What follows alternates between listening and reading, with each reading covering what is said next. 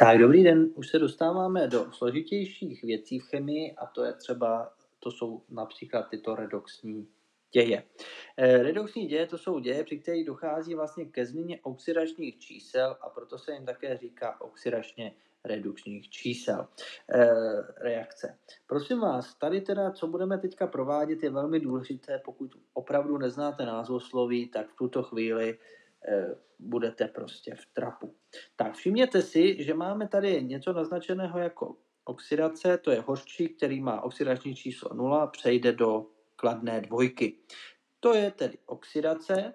E, potom máme tedy kyslík s nulou a ten jde do záporné dvojky. Tomu se říká redukce.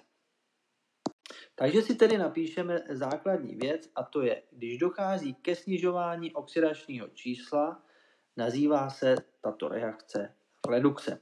To jsme měli vidět hezky třeba O2 přešlo na O, teda z nuly na minus 2. Když dochází ke zvyšování oxidačního čísla, Nazývá se to oxidace. To bylo vidět hezky u toho hořčíku, že jsme přišli do plus dvojky. Pokud ale, prosím vás, prochází oxidace i redukce, musí procházet, prosím vás, současně. Prvek, který se oxiduje, ten elektrony odevzdává. Tím se zvyšuje oxidační číslo. Ano, takže prvek, který se oxiduje, elektrony odevzdává a tím se zvyšuje oxidační číslo. Takže ten náš hořčí, který má nulu, eh, musel vlastně se zbavit minus dvou elektronů, aby se dostal na Mg plus 2. A opačně, prvek, který se redukuje, elektrony přijímá a tím se snižuje oxidační číslo. Pokud máme kyslík s nulou, on musí přijmout dva elektrony. To znamená proto minus 2. Bavíme se tady velmi obecně, ano? Tak, no a součástí oxidačně redukčních reakcí je hoření. Je to exotermická reakce, to už víme, co je. E, podmínky. Přítomnost hořlavé látky, oxidační činidlo, nejčastěji stačí kyslík plynný a dosažený zápalné teploty. Hořlavé látky, to jsou prosím vás látky, které reagují se vzdušným kyslíkem za vzniku plamene, jsou kapalné, plynné i pevné, například benzín, etanol, metan, metanol a tak dále. Tak, oxidační činidlo. E, oxidační činidlo je prosím vás látka, která vyvolá oxidaci jiné látky, ale sama se redukuje. Například vzdušný kyslík, anebo halogeny. Teplota hoření je nejnižší teplota, při která látka trvale hoří, prosím vás. Tak, hasící přístroje. Principem fungují tak, že ochlazují danou látku a zamezují přístup kyslíku. Máme, prosím vás, pěnový, práškový, sněhový, halotronový. Kdyby to někoho zajímalo, má to, prosím vás, více podrobně na straně 127. Ano, takže na to se podíváme za chvilinku, vydržte a jdem na to. Tak podíváme se, co máme tady k tomu tématu v učebnici. Všimněte si, že zde máte podrobněji vysvětleno vlastně princip zvyšování a snižování oxidačních čísel. My se ještě úplně v závěru podíváme na nějaký příklad. Máme tady rovnici zinku a kyseliny chlorovodíkové, jo, takže to proštudovat doporučuju. E, tady máme třeba reakci železa a síranu jednatého, že tam dochází také vlastně oxidaci a redukci. Máte tady obrázkově popsáno vlastně, jak se vyměňují ty elektrony, abyste věděli. A samozřejmě je zde i shrnutí. Jo, takže to jsou věci, které si můžete proštudovat doma v učebnici vlastně tady k tomu.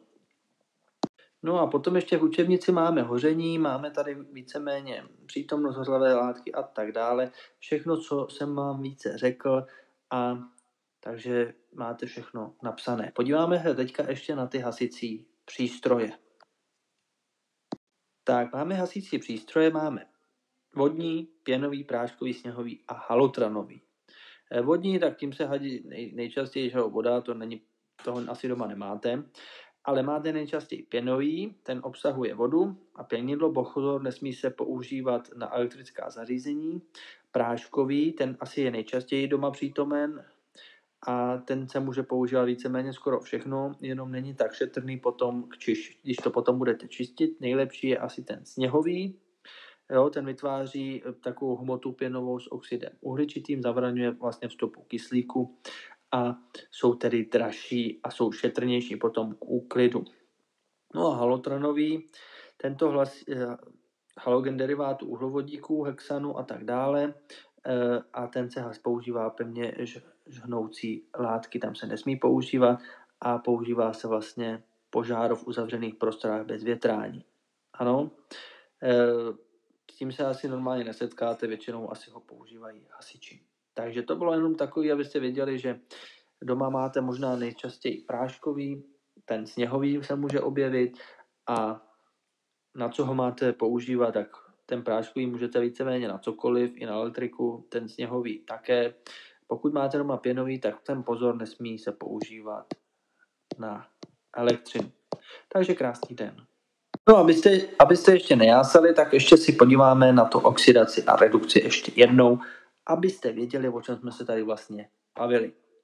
Takže prosím vás, pro určování vlastně oxidačních čísel musíme vědět, že oxidační číslo volných prvků je vždycky nula.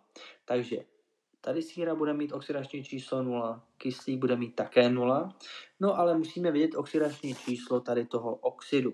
Pokud jste v osmé třídě dávali pozor, víte, že kyslík v oxidech má vždycky minus 2.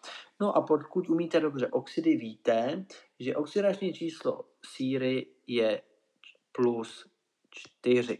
Takže si můžete všimnout, že zde dochází k nějaké operaci, kde dochází vlastně následující.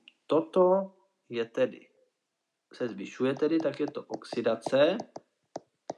No a zde nám dochází vlastně ke snižování, takže to je redukce. To je vlastně takto celé. Ukážeme si ještě na jednom příkladu. Takže máme rovnici eh, Na plus HCl, NaCl plus H2. Eh, takže musíme si ale k tomu říci oxidační čísla. Jak jsem řekl, volný prvek má vždycky nulu. Takže tady je nula a tady je nula. Ano. No a teďka musíte znát oxidační čísla těch ostatních. Toto je kyselina chlorovodíková, ta má minus 1 a vodík v ní má plus 1. Tohle je chlorid sodný, ten má minus 1 a ten má 1. Eh, když se na to podíváme více, musíme zjistit, co kde je oxidace, kde je redukce. Všimněte si, že tady nám roste oxidační číslo, takže to je oxidace. A tady zase opačně nám klesá vodík, tady nám klesá, takže to je redukce. Tak, takže jak jsem řekl, kdo nezná názvosloví, tuto chvíli skončil. Takže to bylo jenom pro začátek. Hezký den.